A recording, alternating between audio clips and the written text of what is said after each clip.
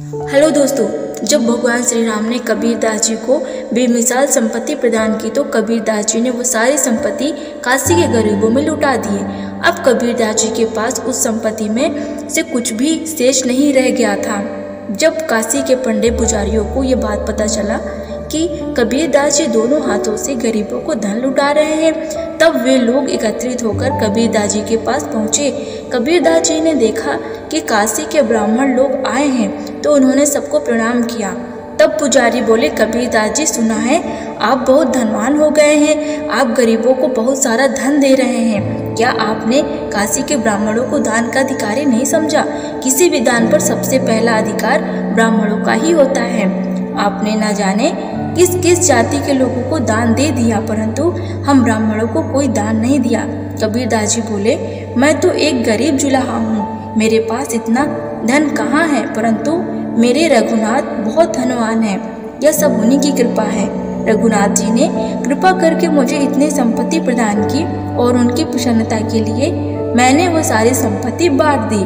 मैंने दान करते समय किसी की जाति नहीं पूछी। मेरे लिए तो सभी लोग समान हैं। क्योंकि साधु की जाति को पूछना एक अपराध है, मैं तो यह मानता हूँ, जात पात पूछे नहीं कोई, हरि को भजे सो हरि का हुई ब्राह्मण बोले, अच्छी बात है, अब आपने जिस प्रकार सभी को दान दिया, उसी प्रकार हम ब्राह्मणों को भी दान दीजिए। दास जी बोले, मैं आपको अवश्य दान दे देता, परंतु मैंने तो सारी संपत्ति गरीबों को दान कर दी, अब मेरे पास कुछ भी नहीं है। आप चाहें मेरे घर के भीतर जाकर देख सकते हैं। तो ब्राह्मण बोले, हम कुछ नहीं जानते। आपने जिस प्रकार अन्य लोगों को दान दिया, उसी प्रकार आपको हमें भी दान देना होगा। अन्यथा हम यहीं पर आसन पर बैठ जाएँगे और आपको भी कहीं नहीं जाने देंगे। कबीरदास जी ने ब्राह्मणों को बहुत समझाया कि अब मेरे पास धन नहीं है, परंतु ब्राह्मण नहीं माने। वे कबीर दास जी के घर पर आसन लगाकर बैठ गए। अंत में कबीर दास जी ने ब्राह्मणों से पीछा छुड़ाने के लिए ब्राह्मणों से कहा, ठीक है, मैं आप लोगों को धन दूँगा। धन लाने के लिए मुझे पुनः उन्हीं केशव बंजारे के पास जाना होगा, जिन्होंने मुझे पहले धन दिया था। मैं यहाँ से जाऊँगा, तभी तो कुछ ला पाऊँगा। इसलिए आप लोग मुझे यहाँ से जाने दीजिए, ब्राह्मणों ने सोचा। बात तो ठीक है, यहाँ से जाएँगे, तभी तो कुछ लेकर आएँगे। यह सोचकर उन्होंने कबीरदास जी को घर से जाने दिया और वहीं बैठकर कबीरदास जी की प्रतीक्षा करने लगे। कबीरदास जी को उन पंडे पुजारियों से पीछा छुड़ाने का अच्छा अवसर प्राप्त हो गया। कबीरदास जी वहाँ से निकलकर पुनः गंगा किनारे स्थित जंगल में और अधिक गहराइयों में जाकर छिप गए। कबीर दास जी ने सोचा कि मेरे पास तो इन ब्राह्मणों को देने के लिए कुछ भी नहीं है। राम जी सबको देते हैं। इन ब्राह्मणों को वे ही देंगे। यह सोचकर कबीरदास जी उस एकांत स्थान पर बैठकर राम नाम जपने लगे। कबीरदास जी जंगल में राम नाम जप रहे थे। सुबह से शाम हो गई, परंतु कबीरदास जी घर नहीं लौटे। घर पर बैठे उन पुजारियों को लगने लगा कि कहीं कबीरदास जी चकमा देकर तो नहीं चले गए। उनमें से कुछ लोग कबीरदास जी को भला बुरा भी कहने लगे। अब साकेत धाम में भगवान श्री राम पुनः कबीरदास जी के लिए चिंतित हो गए।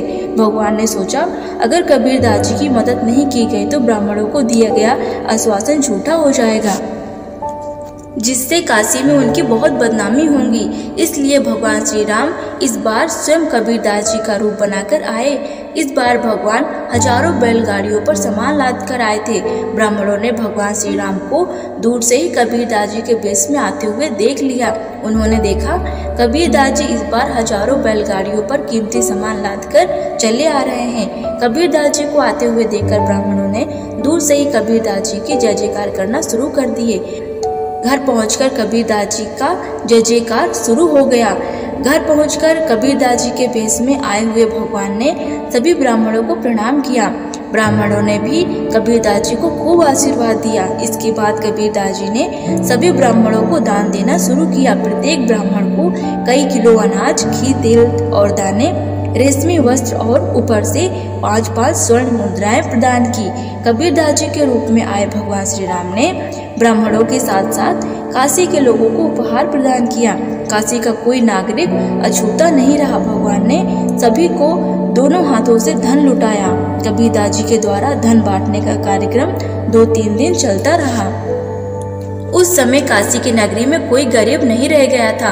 कबीरदास जी ने सभी को अन्य वस्त्र और धन बांटकर धनवान बना दिया था।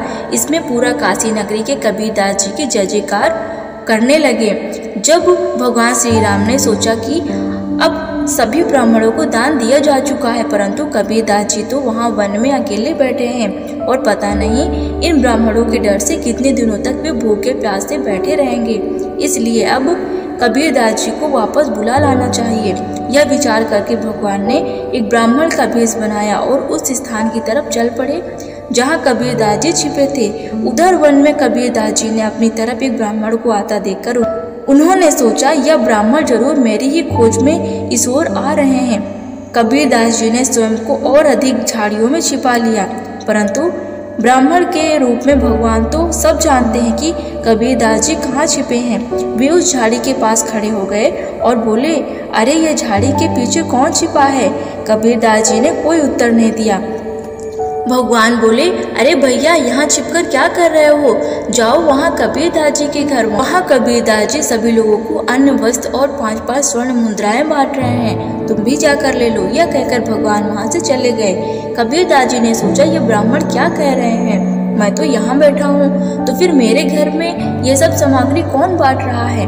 क्या ये ब्राह्मण सच कह रहे हैं? कबीरदास जी ने सोचा कि अब तो घर चलकर ही देखना पड़ेगा कि वहाँ क्या हो रहा है। ये विचार कर कर कबीर दास जी उन झाड़ियों से निकलकर अपने घर की तरफ़ चल पड़े। कबीर दास जी ने गमछे से अपने मुँह को छिपाते हुए मार्ग में बढ़ते जा रहे थे। सभी लोग उनकी तारीफ़ कर रहे थे। यह सब सुनकर कबीर दास जी को बड़ा आश्चर्य हुआ। कबीरदास जी अपने घर पहुँचे। घर पहुँचने पर कबीरदास जी की माँ बोली, बेटा, तू सुबह से कहाँ चला गया था? कबीरदास जी बोले, माँ, मैं सुबह से नहीं, तीन दिनों के बाद घर आया हूँ। कबीरदास जी की माँ बोली, क्यों मज़ाक करता है बेटा तू? तीन दिनों से तू यहीं पर तो था और नगर वासियों को अन्य धन बांट रहा था। कबीरदास जी बोले, माँ, मैं सच कह रहा हूँ। मैं तो उन ब्राह्मणों को बहलाकर यहाँ से चला गया था। और तीन दिनों से गंगा के उस पार जंगल में छिपा था और आज तीन दिनों के बाद लौटा हूँ। माँ बोली, बेटा, मेरे सामने तो तू तीन दिनों से ब्राह्मणों और नगरवासियों को धन बांट रहा है। अब कबीरदास जी को समझते देर नहीं लगी कि उनके रूप में भगवान राम आए थे और नगरवासियों को सब धन बांट रहे थे। कबीरदास जी बोले, माँ, मैं सच कहता हूँ, मैं तो तीन दिनों से जंगल में छिपा हुआ था। माँ, मैं समझ गया कि मेरे रूप में रघुनाथ ही आए थे। और नगरवासियों को धन बांट रहे थे। कबीरदास जी बोले, मैं कितना अभागा हूँ, मेरे रघुनाथ मेरे पीछे से हमारे घर आए और मैं उनके दर्शन भी नहीं कर सका। मेरे रघुनाथ को मेरे कारण कितना कष्ट उठाना पड़ा। अब पूरे काशी नगर में कबीरदास जी की संत के रूप में प्रतिष्ठा होने लगी।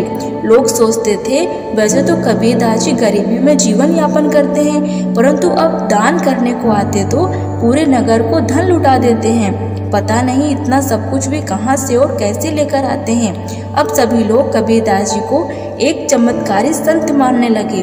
और दूर दूर से उनके भक्त उनके दर्शनों के लिए आने लगे। नमस्कार दोस्तों।